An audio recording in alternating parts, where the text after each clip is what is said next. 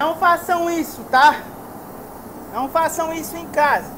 Antes de qualquer coisa, eu já quero falar pra vocês. Esse é um cinza antique da Jeep. 10%, hein? 10% de diluente. Tropa, eu tô com um para-choque dianteiro e um capô cinza antique da Jeep. Vocês vão acompanhar comigo todo o passo a passo da pintura dele pra gente conseguir aquele acabamento fino. Aquele acabamento fino mesmo. Mas o que eu quero conversar com vocês também é sobre alongamento. Cinza antique, pintura de capô, pintura de para-choque, pintura de capô, pintura de para-choque.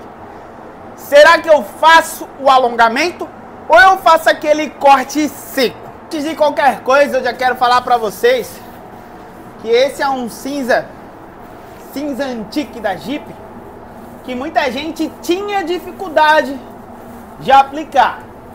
Deixava muito manchado. Por que tinha? Porque a partir desse vídeo, pode ter certeza que não vai ter mais esse tipo de problema, tá?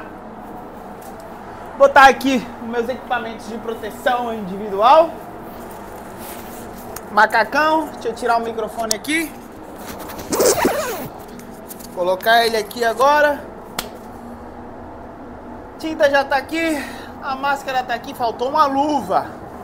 Tô indo ali pegar uma luva. Enquanto eu tô pegando a luva aqui, eu já vou falar pra vocês que já foi tudo limpo, tudo desengraxado, tá?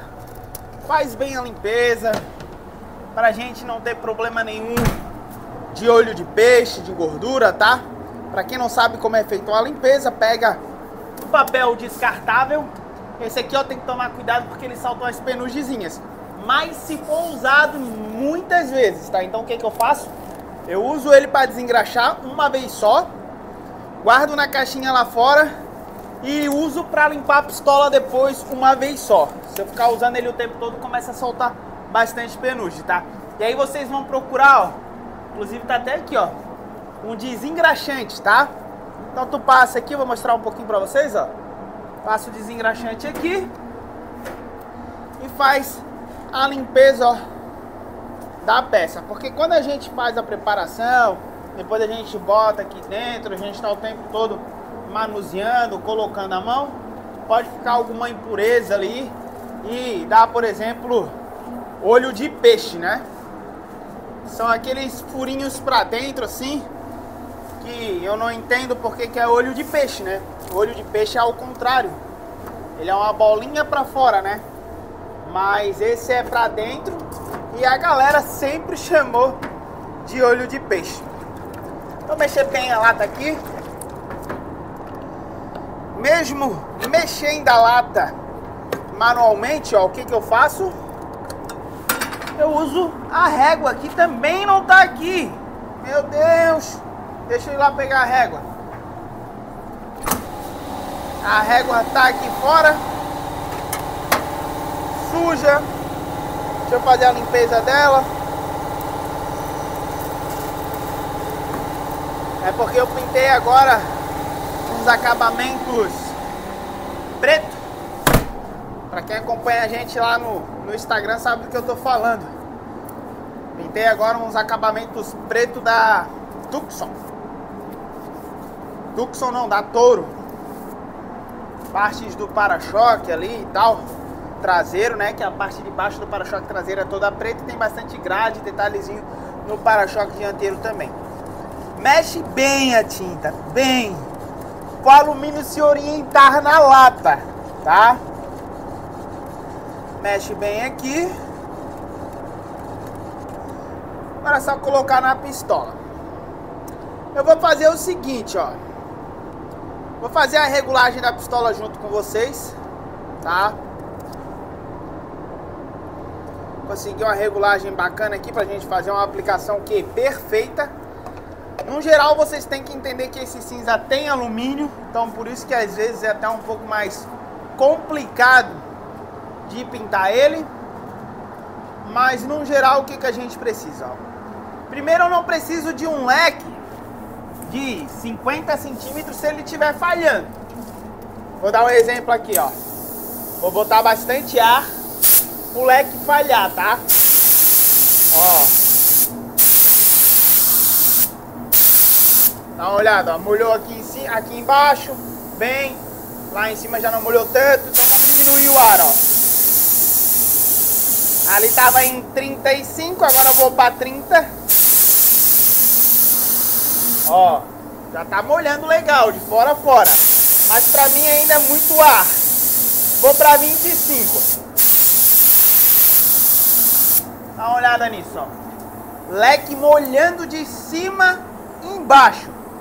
Se eu tiver que diminuir ele, nem que eu tenha um leque de 10 centímetros, mas ele tem que estar tá molhando de cima até embaixo.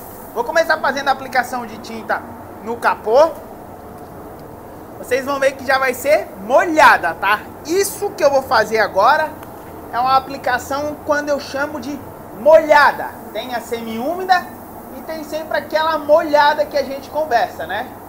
Então essa vai ser molhada mesmo, tá? Buscando cobertura. Na verdade, ó, o que, que eu vou fazer?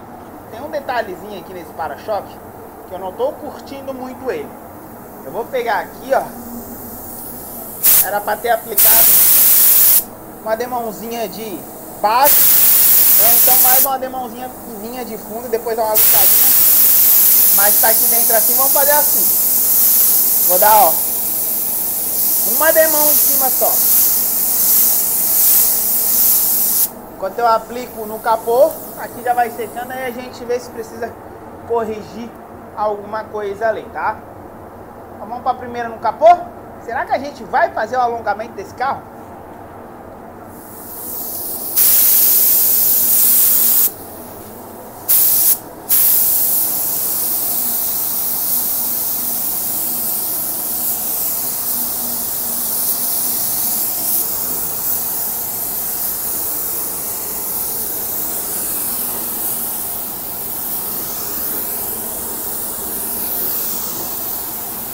Eu vi que caiu uma sujeirinha aqui, ó, da pistola. E mais uma aqui pra baixo. Eu não sei aonde, mas caiu. A hora que secar, o que, que eu vou fazer? Passar uma lixinha somente em cima ali, localizado, tá? Tá secando aí.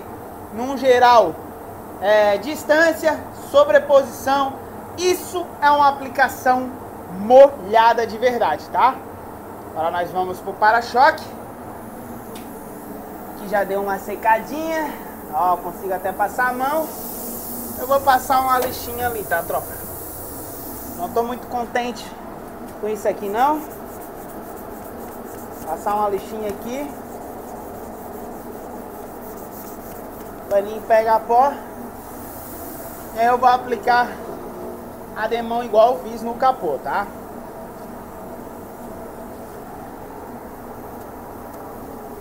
Vamos lá então? Igualzinho, não vai mudar nada.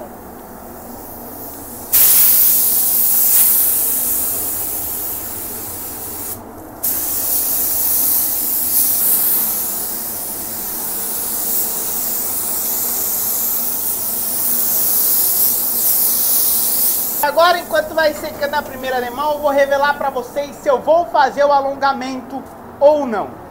E é claro que eu vou fazer o alongamento, né, tropa? Quem que ia sofrer nesse cantinho da cabine, tendo uma cabine tão grande, é porque o carro tá aqui também. Alongamento do paralama do lado esquerdo, alongamento do paralama lado direito, tá bom? Mas eu vou aplicar as demãos de tinta no paralama depois que eu for aplicar a segunda demão de tinta. Vou aplicar a segunda demão no, para... no capô no para-choque e aí eu aplico a primeira demão nos paralamas. Normalmente, quando é só o capô, o que, que eu faço? Eu pego uma chapinha e comparo. Pinta a chapinha, vem aqui, comparo com a peça, que vai dar confronto, porque tem muita questão do ângulo. Quem trabalha em oficina sabe que o que eu estou falando é 100% verdade. Eu olho daqui para lá, com o capô no lugar, a luz está pegando no capô e não está pegando no paralama, acaba dando essa impressão de diferença de cor. Eu mudando meu posicionamento, acontece a mesma coisa. a luz de lá vai estar tá pegando legal no paralama e não vai estar tá pegando no capô. E aí dá essa impressão de diferença de cor. E aí eu decido da seguinte maneira. Quando eu vou pintar o para-choque dianteiro e o capô, aí sim, sem sombra de dúvida, eu faço o alongamento dos paralamas. Se eu for pintar apenas o capô, eu comparo, se tiver muito próximo, eu pinto sem um alongamento, por conta disso que a gente conversou. E o para-choque dianteiro a mesma coisa. Por conta de posicionamento, o para-choque está mais embaixo e querendo ou não, o para-choque é plástico, a gente já conversou sobre isso, que ele sim dá uma leve diferença de cor, leve diferença de cor. A diferença de cor que vem de fábrica, por exemplo, é um absurdo de diferente, né? Concordam comigo ou não? Então aqui já secou, paninho pega pó no capô, no para-choque, no paralama novamente, já que eu apliquei, fez um overspray, pode ter voado alguma coisa ali pra cima dele. Esse. Ai, perdi o paninho pega pó. Perdi o paninho pega pó. Fiz o pedido que a gente pega e pede de caixa. Acabou atrasando, eu tô com esse aqui, ó, guerreiro pra caramba.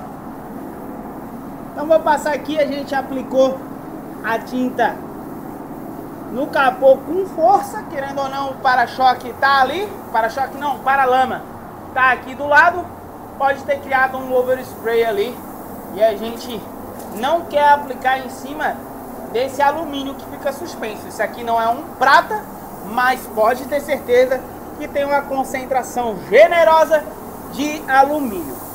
Vou pegar aquela lixinha que eu passei, cadê ela? Tá aqui? Vou lá naquela sujeirinha que eu falei pra vocês. Ó, ela tá aqui. Que caiu apenas na primeira demão. Tinha outra, cara, mas eu não tô achando, tropa. Não tô achando mesmo. Vou aplicar a segunda demão aqui. Enquanto eu tô aplicando, tenho certeza que eu vou ver, que eu me concentro bem ali na hora da aplicação. Segunda demão não vai ser uma demão tão carregada igual a primeira. Segunda demão vai ser aquela demão que eu chamo de controle semi-úmido, tá? Vocês vão ver a diferença na hora da aplicação, sem sombra de dúvida.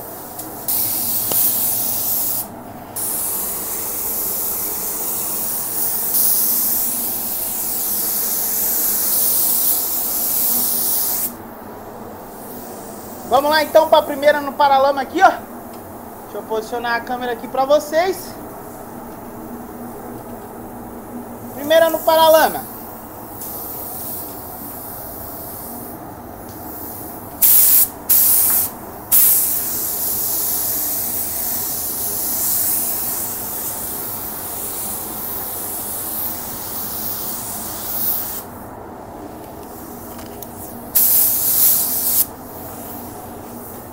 Vamos lá no outro.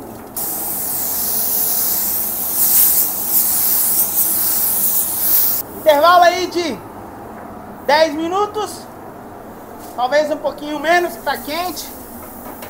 Pra gente vir com a terceira demão. Olha a sujeirinha que caiu aqui, ó. Cadê ela?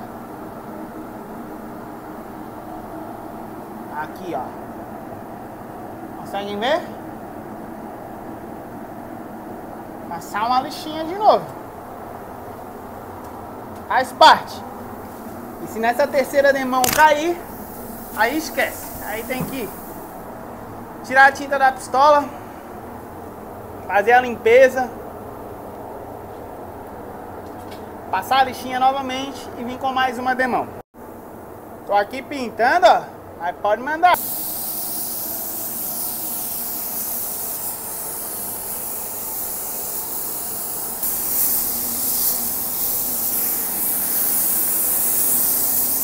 Não façam isso, tá? Não façam isso em casa. Pintem sempre usando os equipamentos de proteção individual. Mas eu vou aplicar uma demão de tinta nesse paralama aqui, ó, sem a máscara. Qual que é o medo das pessoas? O medo das pessoas no alongamento é ficar a mancha. Acaba pulverizando demais. E aí pulverizou, esquece, tá? Então aplica, ó, sem medo, pô. Ó o movimento do braço, ó, sem medo de ser feliz. Dá uma olhada nisso. Se quiser pode vir até aqui, ó, ó, olha isso. Ó o tanto que tem aqui ainda para chegar a tinta aqui nessa extremidade. Então, aplicação sempre sem medo, tropa. Por favor, esqueçam o medo do alongamento. Se pulverizar demais, daí vai ficar manchado. Outra coisa, não mostrei aqui, né? O pano pega pó vai ajudar vocês também. Por quê? Quando a gente faz esses movimentos, acaba acumulando alumínio aqui. E aí, se a gente não passar o pano pega pó, vai vir com a segunda demão em cima daquele alumínio suspenso, vai dificultar a ancoragem da tinta e vai dificultar também o alumínio para ele se orientar, tá bom? Então, sem medo de ser feliz, senta o dedo, movimento e sempre, ó, aplicou molhado, chegou aqui próximo, ó, quebra o pulso, quebra o pulso, mas aplicando molhado, tá? Pode chegar, por exemplo, um palmo ou até menos, né? Se chegar o, a difuminação 3, 4 dedos antes da peça que dá confronto aqui, ó, não tem problema nenhum. O problema é que as pessoas têm medo também de chegar até lá, é que é finalizar o mais próximo daqui, ó, e aí fica aquela mancha bem feia, né? Principalmente no prata, tá? No cinza igual esse cinza antigo aí, normalmente o que, que acontece? Aqueles rabos de galo. Vocês já ouviram falar, né? Com certeza já ouviram falar do rabo de galo, que são as manchas que ficam parecendo um rabo de galo mesmo, por isso que o nome é esse. Normalmente isso acontece porque ou faz o lixamento é, do alongamento ali com a lixa muito grossa e aí o alumínio acaba penetrando nas, ranhura, nas ranhuras da lixa. Ah, mas eu lixo com lixa, eu lixei com lixa fina. 1500 e ficou. Aí o que, que pode ser? Ao fazer o lixamento com água, pode acontecer de estar tá sujo a peça e aí pegar a lixa naquela aquela areia, né? Ou aquela sujeira que fica ali e acabar fazendo uma ranhura muito grossa, onde também vai acontecer de penetrar no na ranhura a tinta e ficar manchado. Vou dar um grau aqui na, na pistola, eu sempre faço isso, eu não vou usar ela para verniz, mas eu aproveito, ó, a última demão de tinta, secar bem, aqui ainda tem que passar o paninho pega pó, enquanto vai secando, eu já vou limpando a pistola de tinta, mas antes confere bem, porque senão na hora de aplicar verniz vê alguma falhinha ali, e aí a pistola já tá limpa, tem que sujar de novo, dá aquela conferida antes, tá? Mudei a minha estratégia, falei que não ia aplicar verniz com ela, mas eu vou aplicar, tá? Para vocês conhecerem bem a KT6000 de bico 1.3, capa 14, F de 14 furos. Essa pistola eu ajudei os caras da Eurotechniker a configurar. Quem já usou uma Kaizen Tech aí das antigas sabe que só tinha no bico 1.4, né? Agora ela tem essa versão no bico 1.3 com a capa modificada também. A gente tem lá na loja da Tropa. Vou deixar o link aqui na descrição, tá? Loja da Tropa oficial. Lá tem pistola de pintura, plástico de mascaramento, Fita a 3,99 se comprar a caixa. 9,99 é fita larga se comprar a caixa. Aproveita ó, que tá aqui embaixo, tá? Vou pesar aqui o verniz. No olho. tá na balança aqui, mas ô Wilson, onde é que tu tá vendo a tabela dele? Sinceramente, é tanto tempo que eu não preciso, tropa, ó. Aqui eu sei que é 3 63 de verniz. Daí depois O catalisador, deixa eu ver se tá no 3. Não, aqui tá no 2 ainda. Tá na hora de trocar esse meu isolamento aqui que eu quase não tô enxergando os números.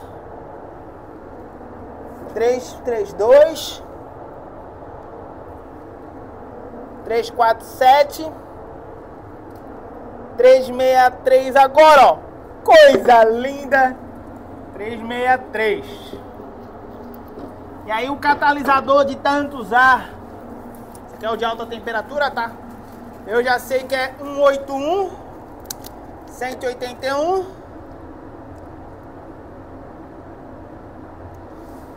3, 4, 5, 6, 7, 8 E mais um pouquinho 81 Nossa Na seca, menino E eu sei que o diluente Deixa eu botar o desengraxante aqui Tá escrito, mas você já sabe, né? Na correria Diluente 32 de diluente 25, 27, 28, 31, 32. Na verdade deu 33, passou um pouquinho. Agora é só a gente mexer bem. E aí, eu não vou filmar pra vocês, tá? Mas eu vou passar o pano pegar pó bem rapidinho nas peças aqui. E aí já vim com a primeira demão de verniz. Pra quem me pergunta também se eu deixo o verniz descansando, é nessa pegada, tá? tempo que eu levo para passar o paninho pegar pó em tudo, ele fica aí descansando. Quando eu voltar, eu já vou voltar ó, sentando o dedo no capô com a primeira demão de verniz.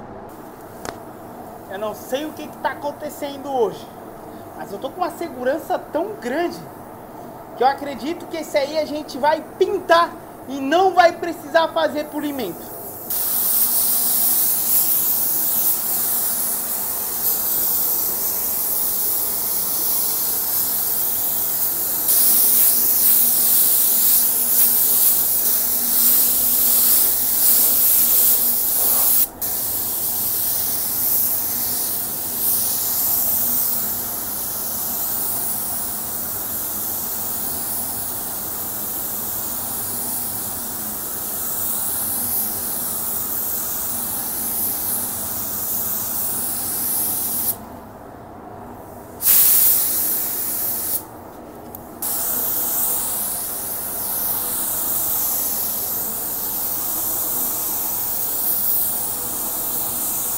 Tá bonito, tá bonito, demais. É, é, é. Eu sou um cara maneiro.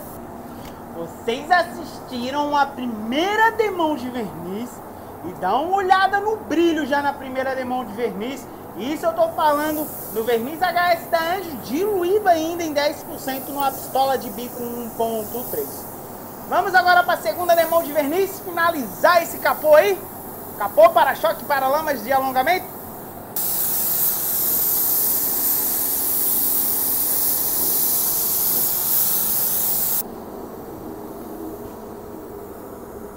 Isso, hein, tropa?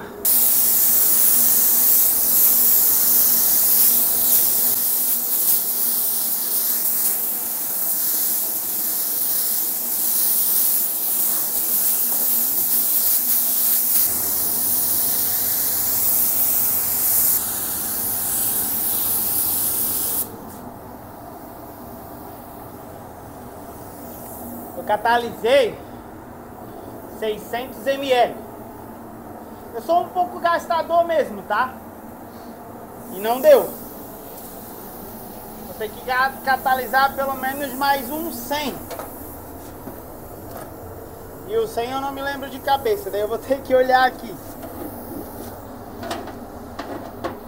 100 é 60, 35. 60 de verniz.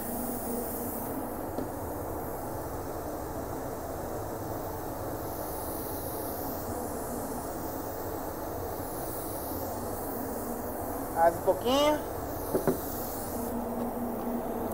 30 de catalisador. E 5 de verniz.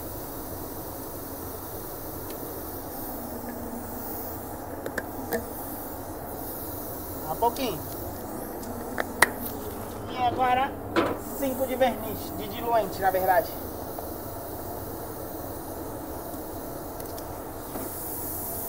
Pra gente aplicar lá no outro paralama.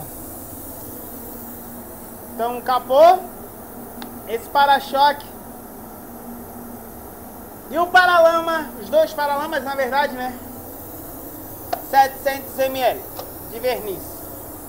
O que vocês acharam? Gastador? O homem é gastador? Eu me acho gastador um pouquinho sim. Mas vocês vão ver que no geral, no final, eu prefiro gastar um pouquinho mais de verniz e levar menos tempo lá no polimento do que ficar aqui economizando, pulverizando e aí depois o polidor lá se ferrar, levar bastante tempo para fazer o polimento dessas peças.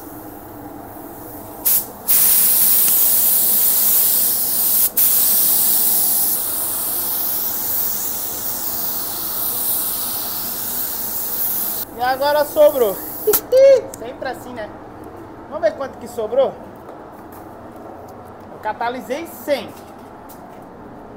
Vocês não vão ver certinho a balança aqui, que tá na hora de eu trocar o isolamento dela, né? Mas vocês confiam em mim, né? Deixa eu zerar aqui.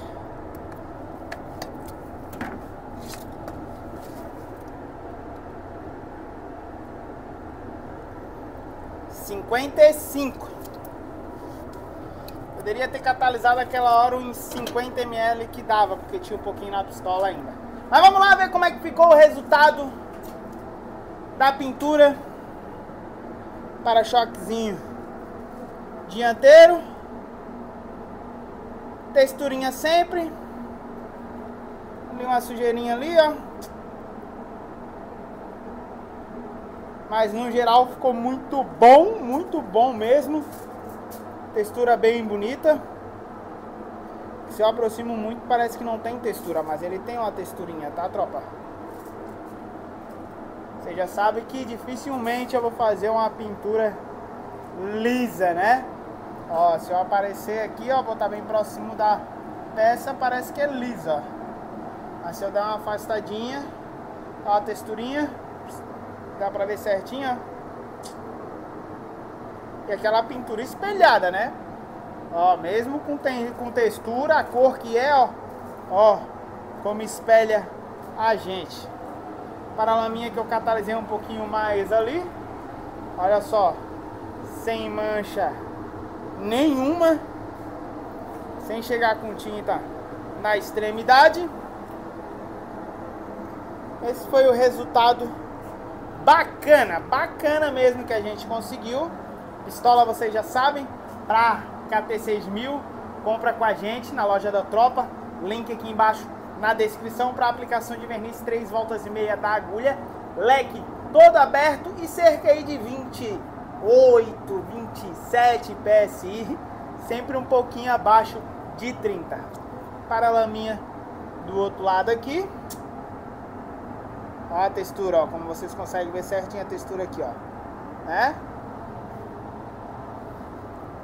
Agora a gente vai deixar secar bem, fazer a montagem, polimento, vou mostrar pra vocês como que ficou esse carro no sol, tá? Fazer a montagem dele, botar no sol e aí vocês vão ver o resultado que ficou.